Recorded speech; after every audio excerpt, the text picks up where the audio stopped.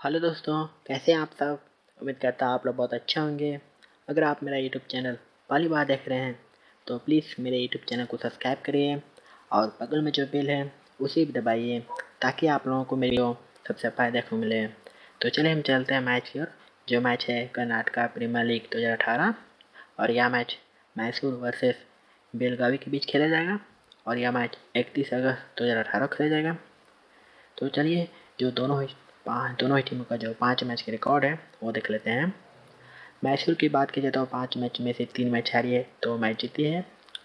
Last match की बात की जाए तो सी मोगा से जीती थी, जो 28 अगस्त 2018 को ले गया था। बेलगावी की बात की जाए तो पाँच मैच में से एक मैच हारी है, चार मैच जीती है। लास्ट मैच की बात की जाए तो मोगा से जीती थी, जो उनतीस अगस्त 2018 को ले गए थे। तो चलिए दोस्तों, इसमें मैं आप लोगों को यह बताऊँ कि यह मैच कौन जीतेगा, कौन जीत सकता है। इसके लिए मेरे वीडियो को लास्ट तक देखिए। तब तक के लिए मेरे यूट्यूब चैनल को सब्सक्राइब करिए और कमेंट करके बताइए कि यह मैच कौन जीतेगा, कौन जीत सकता है।